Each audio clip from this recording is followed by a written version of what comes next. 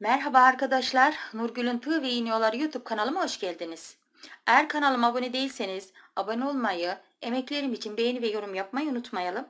Sağ alt köşedeki kırmızı abone ol butonuna basarak abone olabilir, zil butonunu açarak da çektiğim videolardan haberdar olabilirsiniz. Evet arkadaşlar kanalıma abone olmak ücretsizdir. Ücretsiz bir şekilde abone olabilirsiniz. İpimden de anlaşıldığı üzere yine size tek renk bir model anlatacağım. Bu şekilde modelimiz kalemimi göstermiştim arkadaşlar.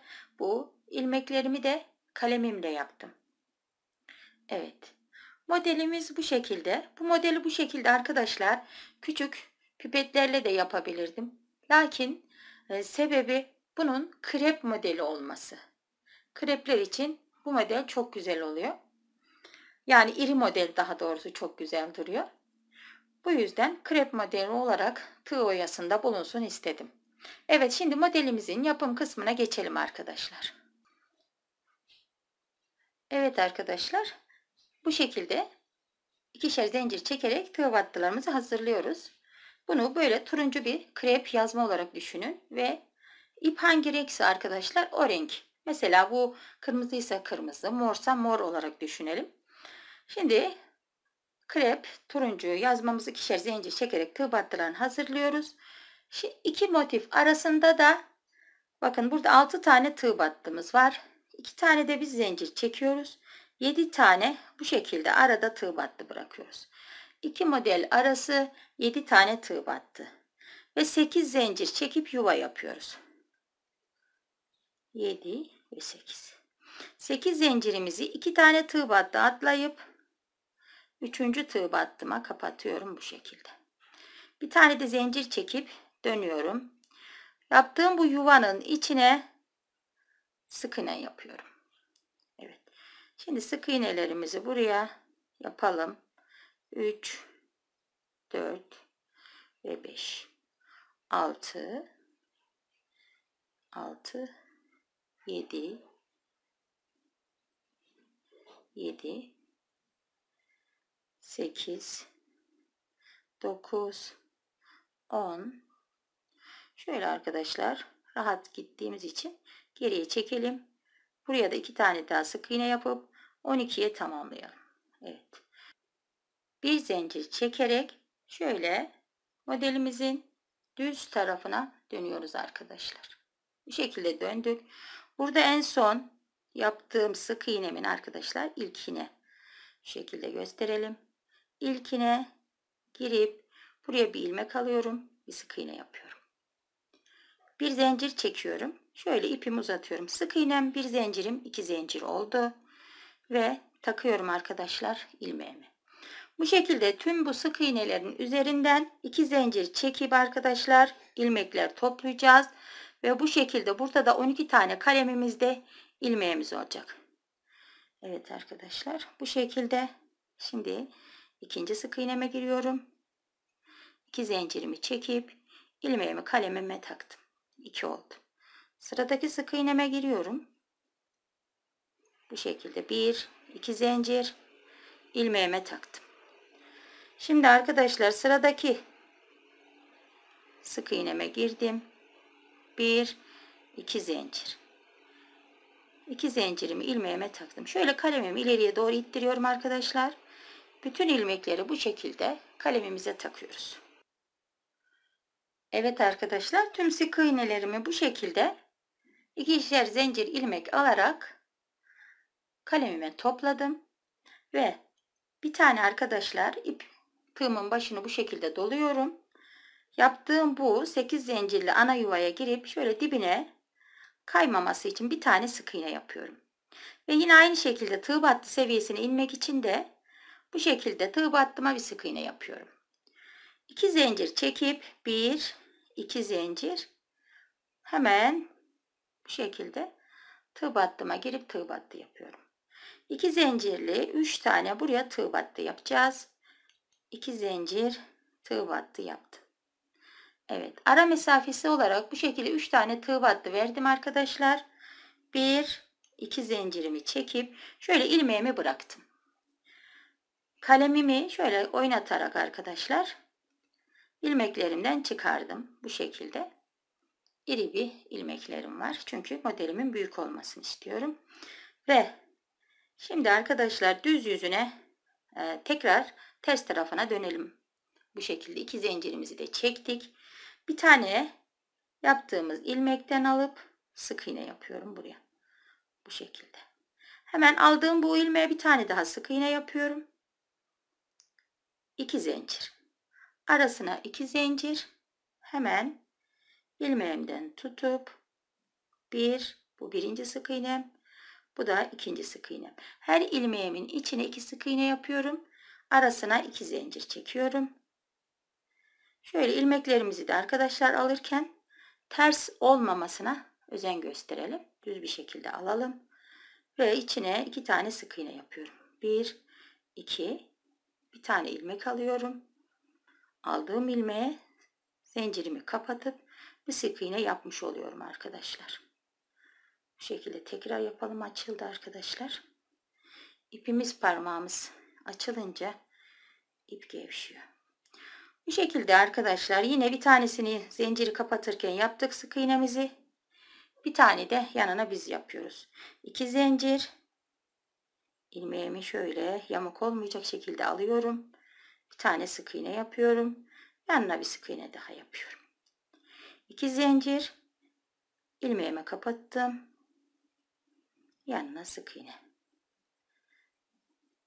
Bu şekilde ilmeklerimizi topluyoruz arkadaşlar. Bir iki zincir.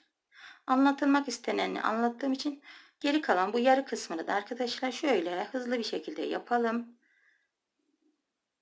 Bir iki zincir. ilmeğimden tutup şöyle düz olmasına bakarak sık iğne yapıyorum. Bir iki zincir. İki zincirimi çekip ilmeğime kapattım. İlmeğimin içine bir sık iğne yaptım. Bir iki zincir kapattım. Sıradaki ilmeğime ilmeğime bir sık iğne yaptım. Bu şekilde arkadaşlar. Tekrar iki zincir. Sıradaki ilmeğimi şöyle zaten göz aşinası arkadaşlar dönüklüğünü anlayabiliyoruz. İki zincir. Hemen arkadaşlar şöyle bu ilmeğimiz dönmüş. Bunu aldım. Yanına bir sık iğne yaptım. Bir iki zincir. Sonuncu ilmeğimiz. Sonuncu ilmeğimizi de alıyoruz. İçine zincirimizi kapatıyoruz. Hemen yanına tekrar bir sık iğne. Bir iki zincir. Buradan sayıyoruz arkadaşlar. Bir tığ battı. iki tığ battı. Üç tığ battı. Dördüncü tığ battıya kapatıyorum. Bu arada bakın üç tane ilmeğimiz kaldı. Yedi tane e, tığ battı bırakmıştık. Dördüncüye kapattım. Bu şekilde iki zincir çekip dördüncüye kapattım. Topladığım ilmeklerimi. Tekrar beş zincir çekiyorum.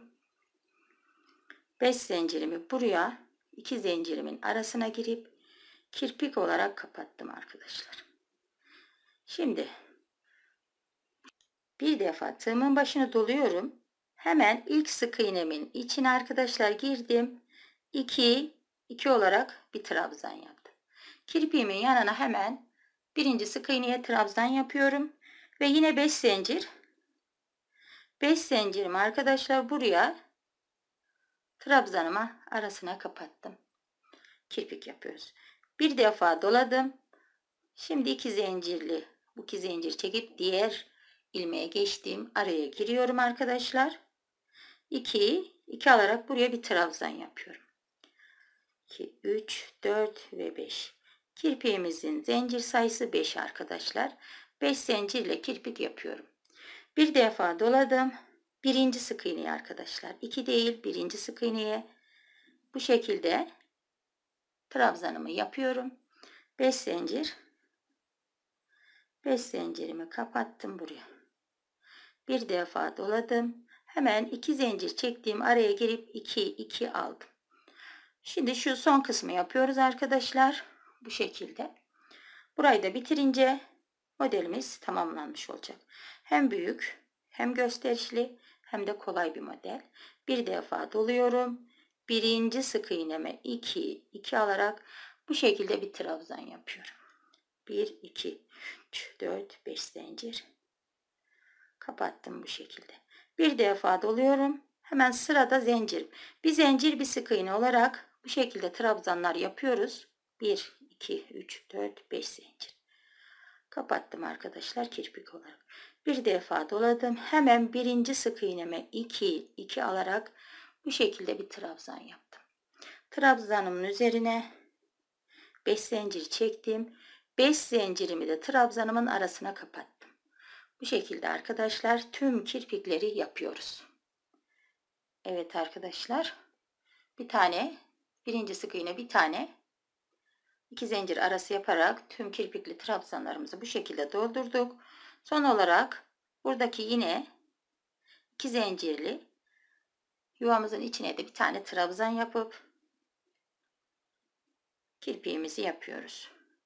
Hemen arkadaşlar bunu da yanındaki tığ battıya batarak 4 tane de bu şekilde tığ battı kullanmış oluyoruz. Dördüncü tığ battıya battık. Dördüncü tığ battıya batarak da bitirdik. 2 zincirimi çekiyorum. Yine 7 tane bu şekilde tığ battı mesafesi veriyorum. 2 zincir 3 oldu. 2 zincir 4 oldu. 5 6 ve 7. 7 tane tığ battı ara mesafesini iki modelimizin arasına bu şekilde veriyoruz ve 8 zincir çekip 3. tığ battıya yuva yapıp tekrar aynı şekilde arkadaşlar modelimizi yapıyoruz. İpimi koparıp yakıp hemen geliyorum arkadaşlar. Evet arkadaşlar modelimiz gördüğünüz gibi çok hoş, zarif, iri bir model oldu arkadaşlar. Muhakkak yapmanızı tavsiye ederim. Hele dediğim gibi kreplere daha hoş durdu. Eğer şayet tülbent denizde yapacaksanız tek renk tülbente biraz daha küçük boy e, süt pipeti veyahut da cam sil hortumu kullanırsanız ilmekleriniz daha küçük durur arkadaşlar. Bu biraz dediğim gibi krep için yapmak istedim. E, büyük modele de çok hoş olacağını düşünüyorum. Evet yapacak arkadaşlara kolay gelsin arkadaşlar. Allah'a emanet olun. Hoşçakalın.